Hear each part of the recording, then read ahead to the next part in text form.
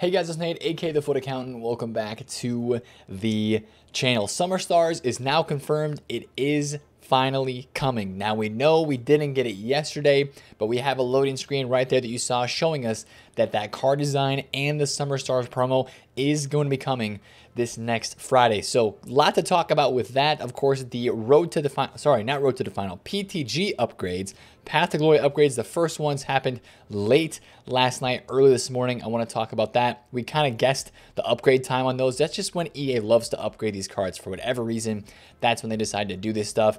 And also, I want to talk about the market, what's happening, and how I think there's going to be a big sell off on the French cards that went up so much this week.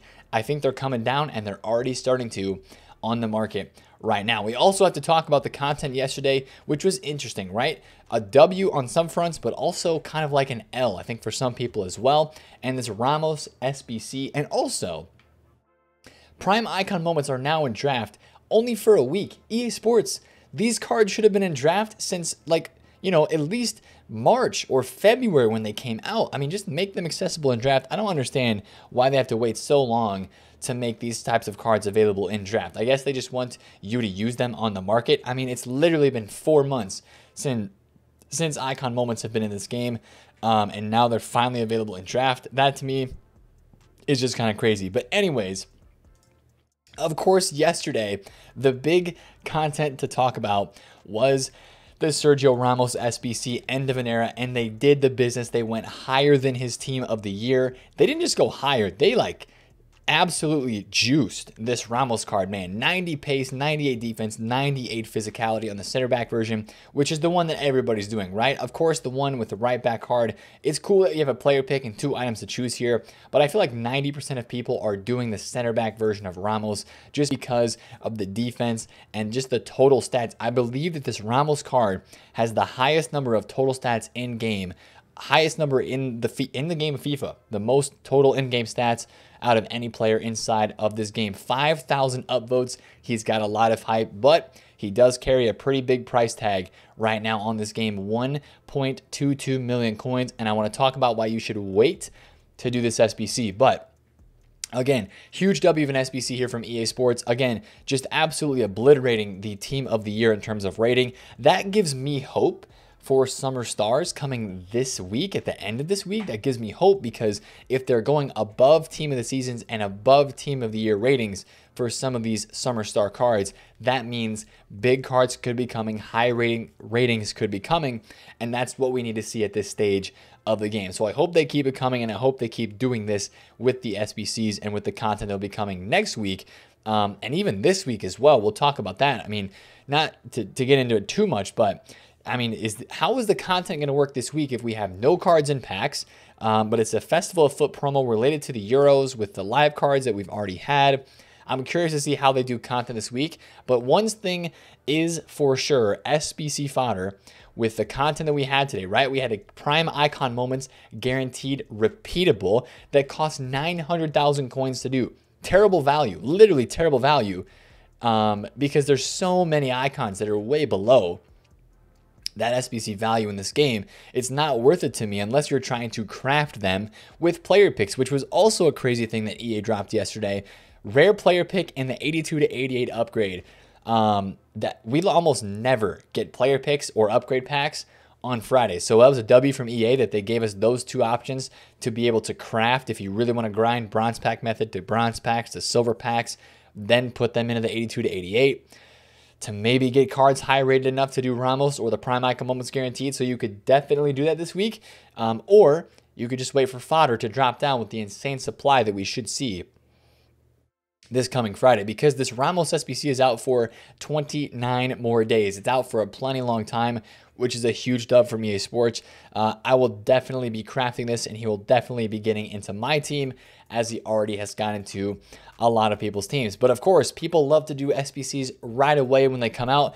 Take a look at the index 86, right? From 250 points on the index all the way up to 340. Fodder is basically on its way to the moon. I guess that's the best way to say it. 83s are 5,000 coins apiece, 84s are nearing 10k, 85s are 16k apiece. 86s are 27,000 coins and 80 uh, sorry 86s are 27,000 coins 87s are 30k a piece. Now, this was just crazy, right? Because this kind of breaks the mold from what we've had in the past month.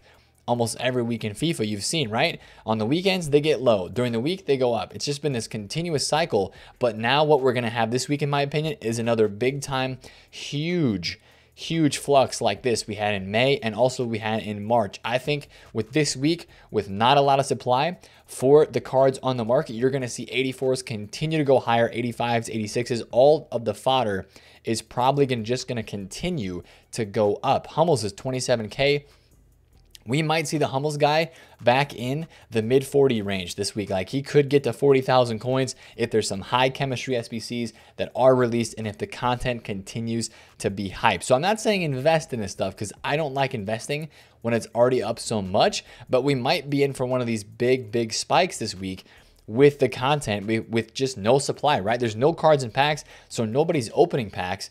That just means there's no supply. And I think EA is going to have to try to keep this game alive this week and the only way they can do that if there's nothing in packs is through SBCs. So this Ramos SBC, multiple of these icon player picks. Of course, we have one expiring in two days. They could release another one of these on the weekend. More flashback and player SBCs. Maybe not any more PTG SBCs, but player moments. They could do, you know, they can throw some random stuff out there. They could even throw out like 85 plus player picks. And then obviously people would save those uh, for the new promo that'd be coming on Friday with Summer Stars. And of course, the Prime Icon Moments Guaranteed, which a lot of people are probably just going to do anyway, because there's coins on the market right now. And that is the epitome of what EA is doing this week on the game. And right now, not supplying fodder, making those prices go crazy, crazy high. That's going to rinse a lot of coins off this game because people have coins, right? People have coins after opening these preview packs, which they were not able to do before. It's just putting a lot of supply on the market. It really is uh, opening these preview packs. Literally everybody gets to open them. And then if you get something good, then boom, you do the pack. So it's just bringing a lot more supply to the market, which is um, has made some of those prices go down. It's made a lot of the market crash, but it's also just more people opening packs, and that puts more coins on the market, which in turn, uh, people have more coins to get involved with the content that EA released. So I think that's why you're seeing SBC fodder prices go so high today off of day one is just because there's so many people out there that want to get involved with the content first day in this game, which is very, very interesting to me. Now, of course, yesterday with Ramos and with the PTG upgrades um, expected at some point during the day yesterday, we saw a lot of market movements, not just in the fodder department. Now let's take a look at these upgrades really fast. Wijnaldum got plus three shooting. He's almost club 90. But the thing is with this Wijnaldum, if they win one more game, then this card will change to a PSG item. If Florenzi and Italy win their game today on Saturday against Austria, that will mean that Verratti will get a plus one, Florenzi will get a plus one, and this next upgrade will happen on next Friday, the 2nd of uh, July, which will then be after the transfer window opens, and then Wijnaldum and Florenzi most likely will change to their new respective teams uh, with PSG and back to Roma for, for Florenzi. So that's kind of interesting to kind of note as well. We've talked about it before, um, but that did not happen yet, as I think it'll happen after the transfer window open. So, of course, Euro games are back today Wales, Denmark, Italy, Austria. More teams hoping for more wins to continue moving on in the competition. But these upgrades look decent, right? Hazard 97 looks pretty good. Firmino, his card is looking even more and more cracked. Vinicius Jr. looks great as well. I think Verratti and Wijnaldum for most people, though, look the best out of these upgrades. Now, I bought a Verratti yesterday because with all of the market, there was a little bit of panic selling yesterday because of the Ramos SBC. Um, and it's just also interesting because we have, I feel like this market is in a weird place because so many people are worried about the French cards for objectives, right? Everybody's running French squads in the weekend league. I'll even show you my squad right now. This is what I'm running. You know, I keep switching in and out center backs here. I've had Lacroix, I've had um, the I got team of the season Varane. I'll show you that in a second. Traded with him today. I used Blanc for a minute as well. This is the squad that I'm rocking this weekend for the French objectives, and every a lot of people are doing this now. Not everybody.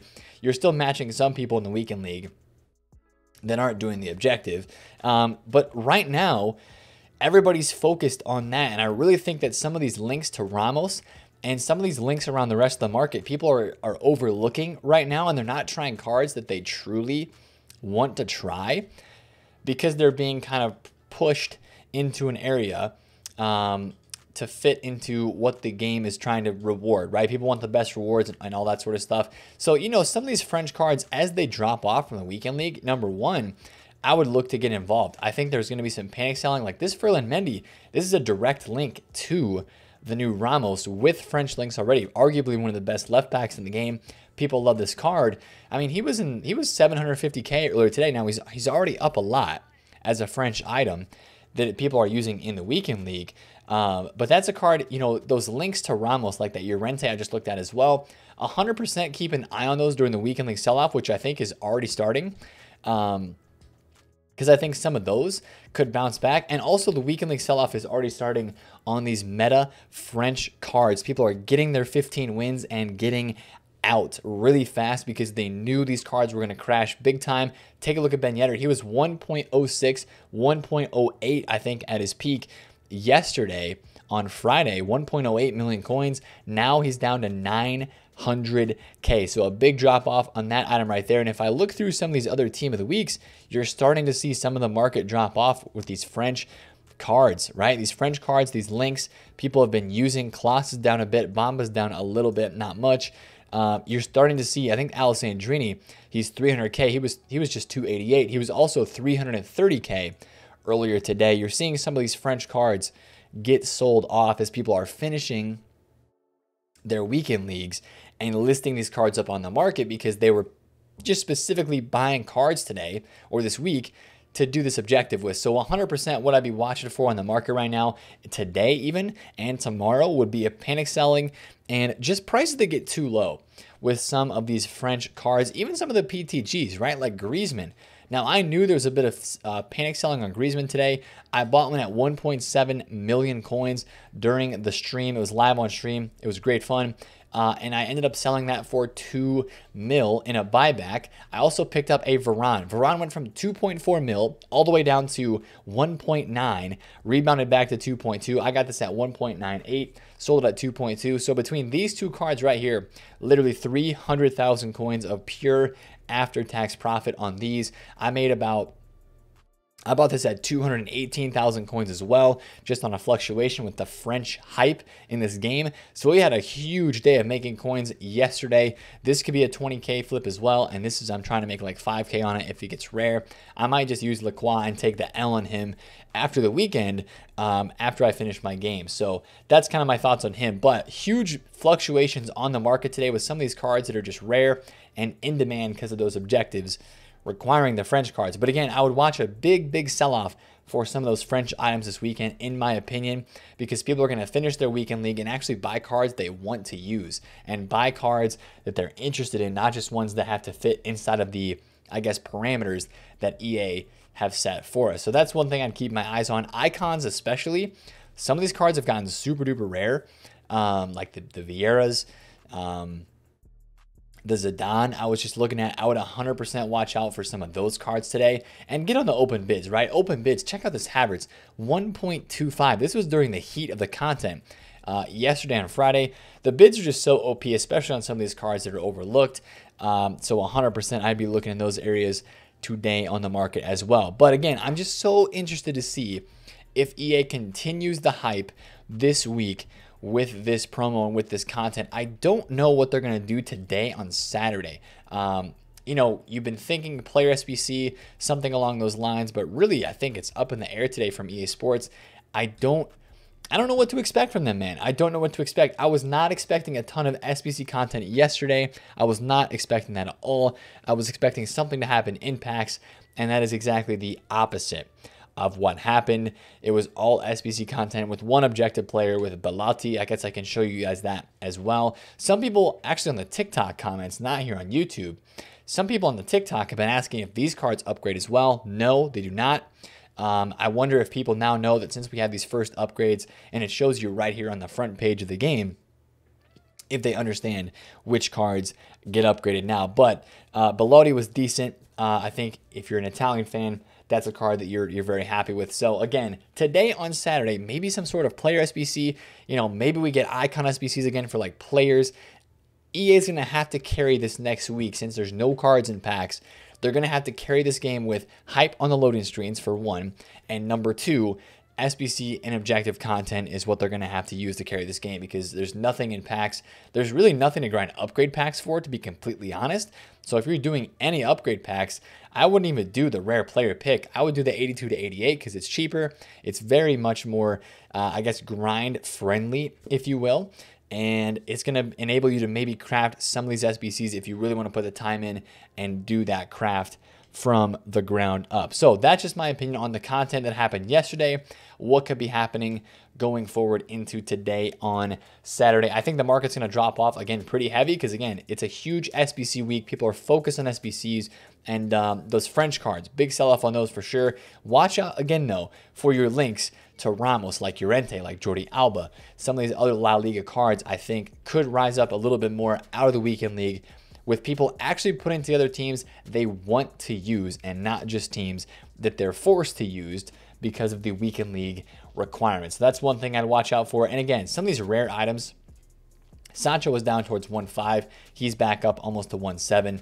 Uh, you know, Goretzka was also like 1.6. He went back up to 1.7 highs. So big time fluctuations on your really, really rare cards like I was trading with in the high tier. If you've got the coins for it, that's a great place to go. Even some of the icons, right? 218K to 280 on this Blanc. So just watch out on some of that stuff today and potentially I do think that some of these guys, I think Verratti's my favorite because he's got a game today. Uh, but some of these cards that got upgraded last night might have a little bit more of a rise into the day today, into the morning on Saturday, depending on how much hype people think there is with these upgrades. Out of all the cards that got upgraded, I feel like Hazard, Wijnaldum, and Militao might have the most hype and potentially Firmino, but we'll have to see um, if that is, you know, trans if that happens on the market as well, if they actually go up in price on the market, or if there's still people that are holding those that are going to try to sell them because they actually have now seen the upgrade when the UK wakes up when you guys are watching this video. So that's kind of what happened with the market yesterday. That's kind of what I'm expecting going forward into this weekend as well. And I think that's the video, boys. If you did enjoy it, smash a thumbs up on it. Comment down below if you have any questions. And subscribe if you're new. It's been Nathan Foot Account. I'll catch you guys later. Peace.